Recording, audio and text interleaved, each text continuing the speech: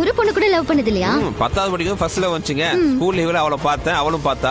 சரி லவ்வர் சொல்லலாம் லெட்டர் எழுதி ஸ்கூலுக்கு போனா அப்பதான் தெரியுது அவ புது டீச்சர்னு ஐயோ அப்புறம் மனசு மாத்திட்டீங்களா? ஆளை மாத்திட்டேன். எழுதின லெட்டர் வேஸ்ட் பண்ண முடியாதுல்ல? அதான் கூட படிச்ச புள்ளி கொடுத்துட்டேன். அதாவது ஒர்க் அவுட் ஆச்சா? எப்படி ஒர்க் அவுட் ஆகும்? இவ பேருக்கு எழுதி அவளுக்கு கொடுத்தா ஆளை மாத்தினேன் லெட்டர்ல பேரை மாத்த மறந்துட்டேன். கேட்க இன்டீசென்ட்டா இருந்தாலும் உங்க இன்னசென்ட் புடிச்சிருக்கு. அதனால தாங்க இதை வெளியில சொல்றது இல்ல